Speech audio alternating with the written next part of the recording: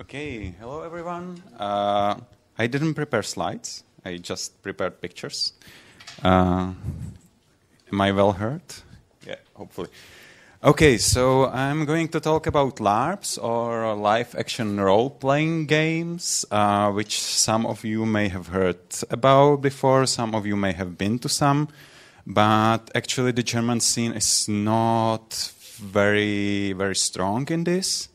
Uh, it's somehow thing that mainly oscillates in between Middle Eastern countries and Nordic countries for some reason we never really understood.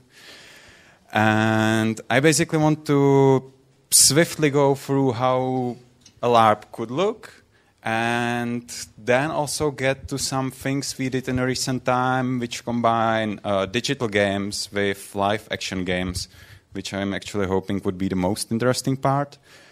Uh, I started with LARPing when I was 14, which means a decade ago, which is the time where this picture was taken.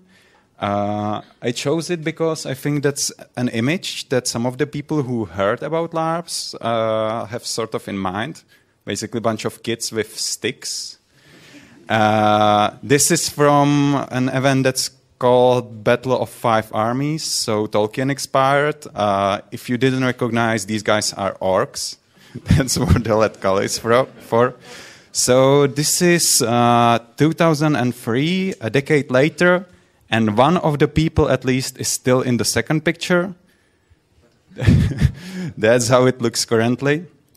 Uh, I will go through a few pictures from current games just to give you an idea how serious we are at least about the costumes because this is a games event. I was thinking, well, let's pick some that are based on famous games and let you guess. So, anytime you know a game, scream the name. We'll start with something very simple, so to try it out.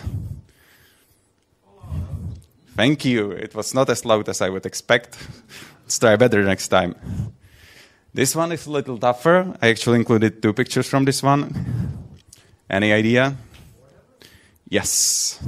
Oh, sorry, well, Warhammer. Uh, no, unfortunately not. I will use the second one.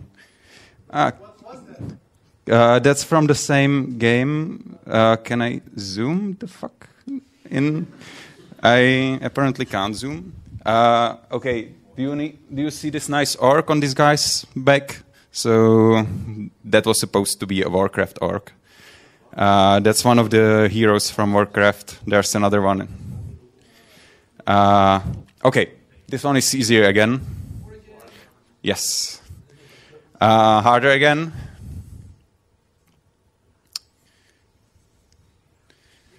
This is the Necromant from Gothic, Necromant suit. Uh, this one will be really hard, so I took something simple from the game.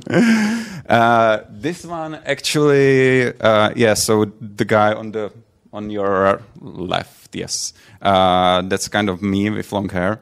Uh, this one actually somehow got through the internet to the Heroes of Might and Magic guys, and they did a cosplay contest based on this picture. So this is actually a screenshot from their page. The second next to me is my one of my best friends, our queen at the time.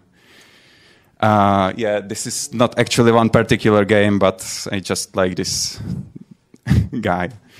Uh, okay, so uh, some of the pictures. Uh, I wanted to uh, also suggest that uh, basically what you've seen were games that, or pictures from games that were somehow kind of a battle like. So a bunch of guys get into costumes, they pretend they are in the fictional universe, and they kick each other's butts uh, with weapons that actually fit in the scenario.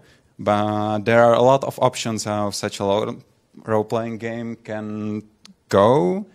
And I made a very simple chart, basically pointing out what can be a span of the properties of live action role-playing game. Uh, when it comes to time, it can be something that can happen in very short period of time. Some of these things actually more remind some team building experiences. Uh, like maybe some of you have played a game where you are a bunch of guys in a hot air balloon that's constantly descending, and you need to decide whom to throw out so you get your height back. Uh, I'm not sure how it's team building though, but yeah, okay. uh, on the on the other side, you have games that take several months. They are basically usually somehow uh, involved or overlapping with your normal life. I think some of them are also quite well known, like the games where you have to assassinate somebody, and you know who the guy is. You have like his picture, and you know where he studies or whatever and there's somebody who needs to assassinate you. Uh, we have one popular uh, in the city where I studied, where you do the assassination by putting some uh, a toothbrush on somebody's neck. Uh, it basically spans until there's one winner, and usually there are more than a thousand people in the beginning. And some people get quite paranoid about that, and I know people that didn't go to lectures because of that, and like somehow failed the semester afterwards. Yes, yeah, yeah, yeah. Uh, no, no, no. You, you actually have to get your own toothbrush. uh, then you, like as I said, most of the games I've shown were in the action side. Uh, there are also some that basically like throw you in a world, and you should somehow explore or feel how the world is, and not really like fight with anybody or be somewhat physical. And last thing, last scale I figured is somehow a balance between gameplay and roleplay. So some of the games are really trying to like sell fictional resources to somebody for some other fictional resources so your group could win the game in the end. And some of them are more really into the kind of interactive uh, theater. I'm actually I'm constantly putting this up and down. Am I heard well even without the microphone? Okay. Uh, I will try to keep it here. Uh, so some examples of games that are not in different parts of this diagram. And I will actually start with a video from a game that was called Project System. Uh, it's a trailer for the game and somehow gives you the overall mood of the game. What happened in the video was that the guy tore down the poster for the party, and some representative of the party was in his flat already by the time he came back. Uh, so this was a game that was set in a totalitarian setting. Basically, we had a village on our own. Uh, everybody had a role in in that village, basically living his usual life in a world that's somewhat different from ours. That's totalitarian. Uh, dystopian. uh, this is one of the pictures from the game. Uh, actually, it was frankly quite immersive. So I was there as a student, and I didn't want to. There was a problem. There a problem occurred, and I didn't want to tell on my classmates. So in the end, I got prohibited from going to the main city of the world or of the country where it was taking place and from going to university. And I really had to like reassure myself that actually that doesn't mean that I as a person cannot study. It's like just the character. And it's when you get into it and when like everything around is set up to feel real, it really starts pursuing your brain. It is. Uh, another game, more lightheaded. Uh, this one uh, was in a classical setting, and basically it was more of a reenactment of life in, I think it was 14th century. Uh, this one was very interesting in the sense that it was called Danse Macabre, and the only way how you could uh, play in the game was by dancing. So there was a dancing workshop between, and then you could just express yourself via dancing and movement. Uh, another atmospheric, uh, costume based, really we set you in the world of Dostoevsky and just enjoy the dark mood of it. Uh, yeah, this one I just included because I like it. Uh, uh, here I'm actually going to uh, to get to the, my main point uh, with this beautiful car that was updated for a game that was set in the setting similar to Fallout. It was not built from the scratch. This one was built from the scratch, uh, and it gets me to my main point, and that's a game called Strepiny, uh, which we set up a year ago. I will also show trailer without sound, just a minute of it. At least what you were supposed to see were a few high-tech things we used for the game, and basically this game was a combination of that living experience. We will set you in a highly sci-fi world with uh, basically what we created for the purpose of the game. And I just wanted to share with you like how some contemporary technologies can be used to create such such a scenario. So, for example, we had a reactor that from time to time was kind of failing, and everybody had to go to bunker if it was happening. And we created it by having a pillar that used 3D projection mapping that was just like showing the project, uh, the reactor on the pillar. So this is just like a gray thing without the projection. Uh, we used uh, key mapping to create um, off-world communication, where basically we talked in real time, and then you had the background and folks mov- moving in behind and stuff. Uh, we had a database, which basically the players uh, got uh, like keywords for, and if they had the right keyword, they could look it up in the database, uh, which were also going down quite often. That was not actually intended. Uh, this is a remote control for a robot you saw there, so we also communicated with the players via the robot, who had his own camera, microphone, and speaker.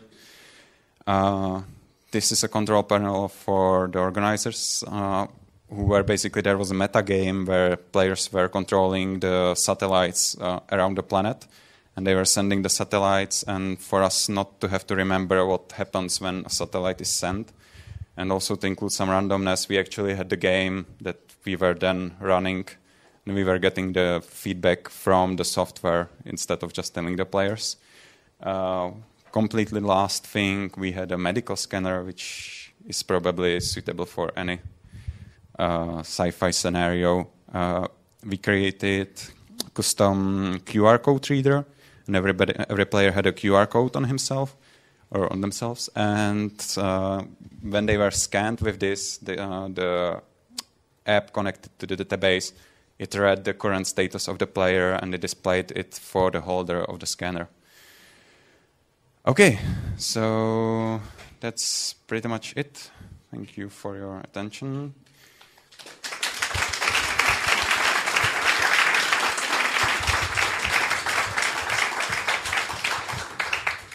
Questions? What was that game? Uh, the last one. No, the second one. No, no, the, the questioning you saw the game. I'm sorry that I just jumped in. I just, never mind. Ask it later. Okay. How long lasted the last game? Yeah, uh, so, sorry? How long lasted this one game? Uh, a day. A day. Um, yeah, I would like to know from personal experience of playing online and competitive online, how you deal with cheaters, griefers, and this kind of stuff. Well, it dep- oh, sorry. It really depends on the setting of the game. So, if you have uh, like environmental experience, there's nothing to really cheat. Like you can cheat that you are not sad at the time or something, but that's that's not really cheating. Uh, when it comes to battles, it's quite problematic, and basically half of the battles are like airsoft battles. So you usually do the same thing as you would have in like airsoft or paintball. And if somebody, I mean, it usually is quite obvious. Like if there's a Are ki- there, so sorry, are there people like GMs or like game masters or whatever? That uh, it depends on the scale of the game. So the Battle of Five Armies, which usually has uh, a thousand and five hundred players at a time, it somehow needs um, monitoring, of course. Uh, but that's usually not.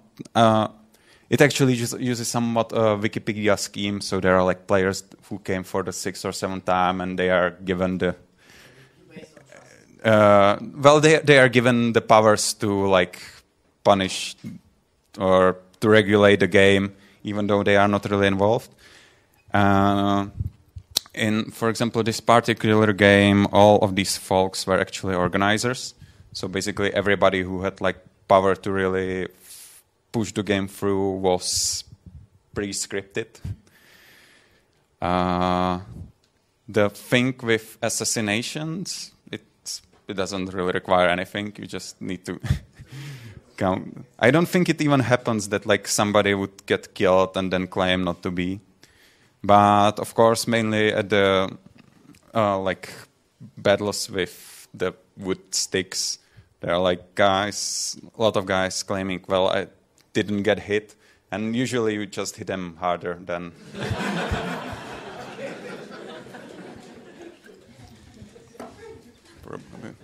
Last question, I guess. Games that you showed the trailers for, uh, how are outcomes determined? Is it sort of like a performance, or is there? Uh, it in both of them, I actually showed trailers for the outcomes are variable, and they are adjusted by the game masters based on the what happen what the players do. So as I gave the example with me actually not going to the school because I didn't grass on my uh, schoolmates, somebody grassed on me, and then he actually had much better outcome from the game as a character than I had. So this is not pre-scripted. Uh, some events usually need to happen. So